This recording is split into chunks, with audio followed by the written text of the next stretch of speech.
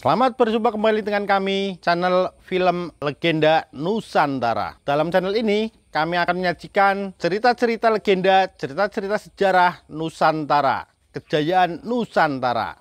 Semoga kita semua akan menyadari bahwa negara kita, Nusantara, adalah negara yang sangat luar biasa. Salam NKRI.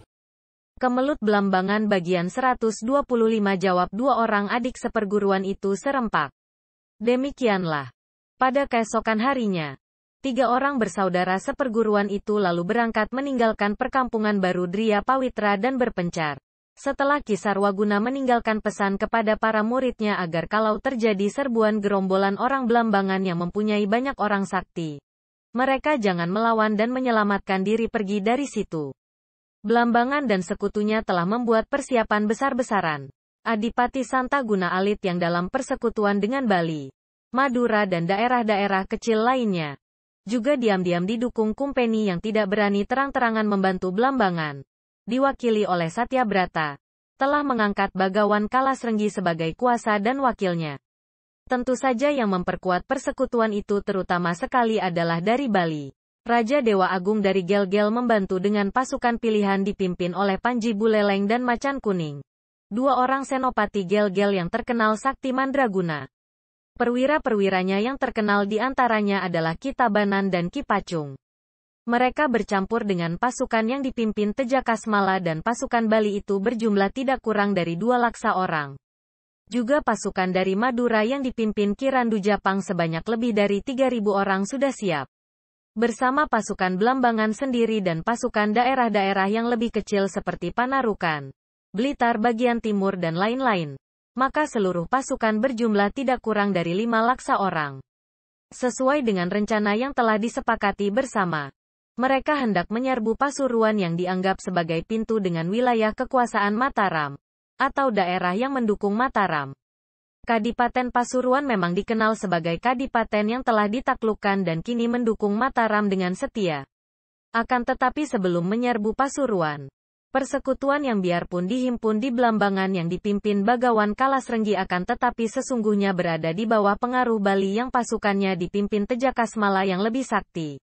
Telah bersepakat untuk lebih dulu memperkokoh diri dengan menarik bantuan dari daerah-daerah kecil. Juga mereka mendatangi perguruan-perguruan untuk menarik bantuan orang-orang yang memiliki kepandaian dan kesaktian. Banyak yang dapat terbujuk dan membantu dengan sukarela. Ada pula yang membantu karena ditaklukkan dan dipaksa. Akan tetapi ada pula yang gagal seperti halnya perguruan Bromo Dadali, perguruan Dria Pawitra, dan beberapa orang tokoh sakti lainnya. Bahkan Bagawan Kalasrenggi yang cerdik dan licik itu telah berhasil menyebar mata-mata ke dalam kota Kadipaten Pasuruan dan sekitarnya. Hal ini mudah dilakukan karena Pasuruan merupakan kota yang terbuka untuk umum. Dari keterangan para telik sandi, mata-mata, ini, Belambangan dapat mengukur kekuatan pertahanan Pasuruan. Setelah mengadakan perundingan untuk mengatur siasat penyerbuan, maka persekutuan di Belambangan itu mengambil keputusan untuk menyerbu pada hari yang telah diperhitungkan oleh para ahli peramal. Demikianlah.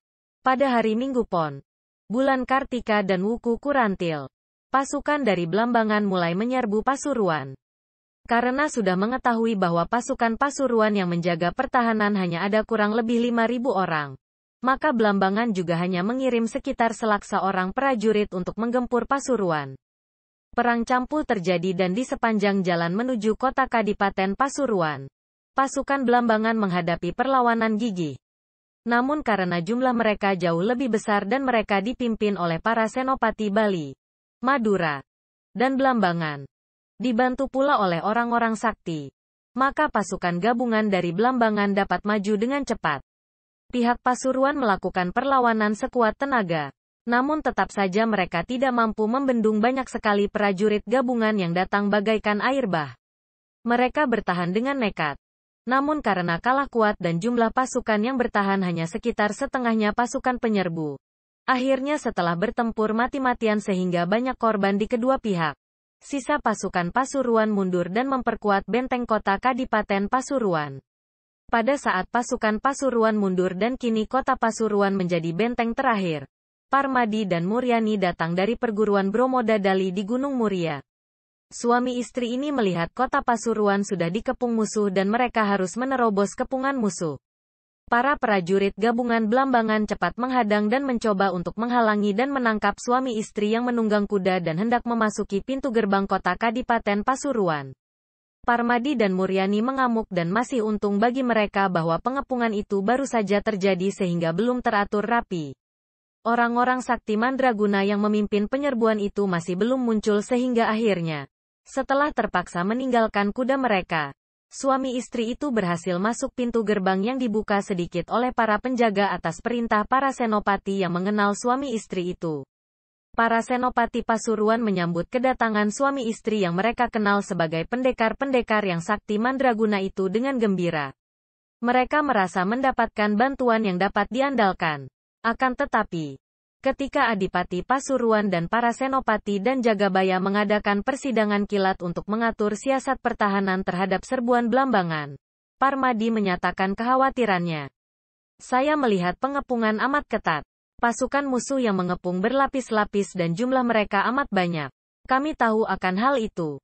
Semenjak mereka menyerbu daerah Pasuruan dan kami menyambut mereka, kami sudah tahu bahwa jumlah prajurit mereka amat banyak mungkin dua kali lebih banyak daripada jumlah prajurit kita. Karena itulah kita terpaksa mundur ke dalam kota dan menutup pintu gerbang.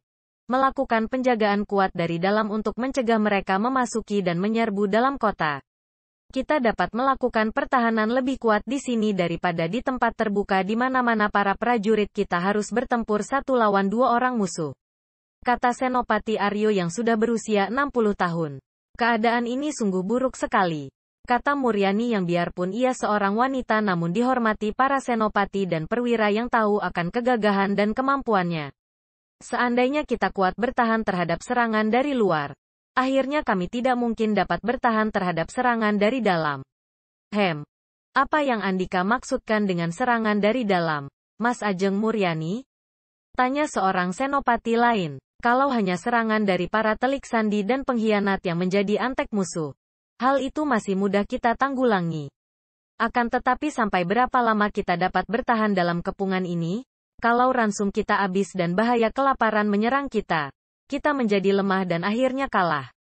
Mendengar ini, semua orang terdiam dan mengerutkan alis.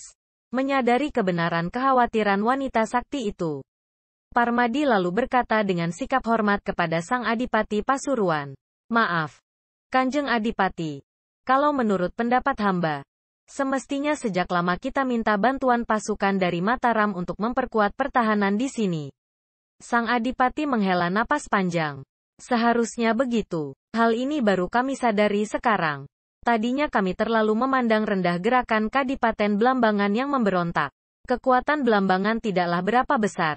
Akan tetapi, ternyata mereka dibantu pasukan yang amat kuat dan banyak dari Bali dan Madura. Juga mereka mempunyai senjata api.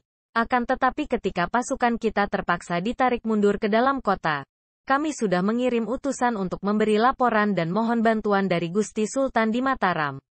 Semestinya utusan itu sudah kembali bersama bala bantuan, kata Senopati Aryo. Akan tetapi mengapa belum juga kembali dan tidak ada kabar dari Mataram? Hem, saya tahu bahwa banyak orang yang tangguh dan berbahaya membantu Belambangan dan mereka disebar di mana-mana.